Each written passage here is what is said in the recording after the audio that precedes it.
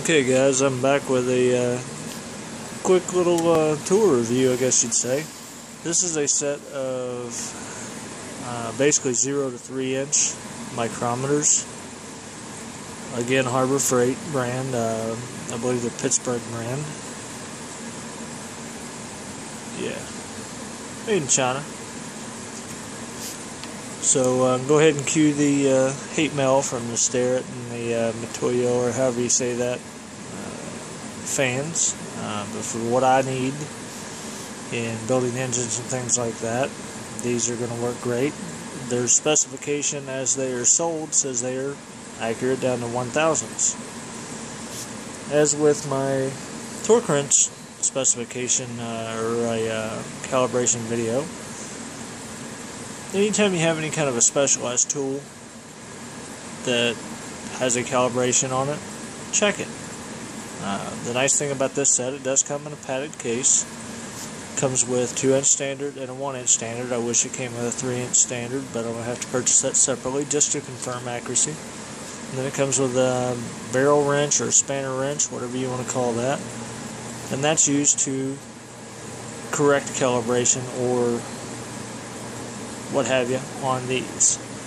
Um, so basically, you have that little hole there that you'll put your spanner wrench in, and you can turn the barrel so that it lines up with zero. Which again, I'm not taking any measurements of these, and these are still kind of loose. The nice thing about this set is you have a ratcheting thimble.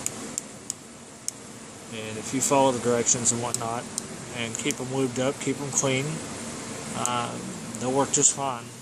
Like I said, for what I'll be doing, which is basically checking main bearing clearances and things of that nature, they're going to be more accurate than uh, Plastigage.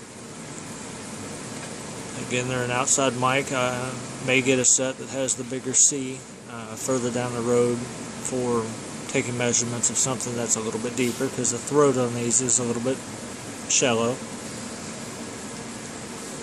But like I said, just a quick little tool review. And with anything, checking your calibrations. As it's stamped on here, they're going to be accurate down to one thousandths.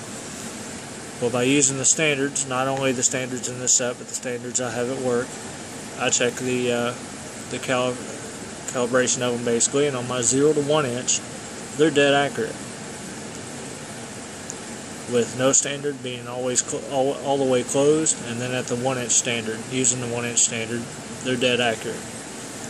The one to two inch with the one inch standard is basically a quarter of a thousandths under. Two inch standard, it's three quarters of a thousandths over. So if you do your correction between the two overall throughout its broad range, it's within half a thousandths, which is more than enough for me and actually more accurate than what is advertised. For the 2 to 3 inch, using just the 2 inch standard, eyeballing the 25 thousandths off. And what I say by eyeballing is on this one, know if you'll be able to read it.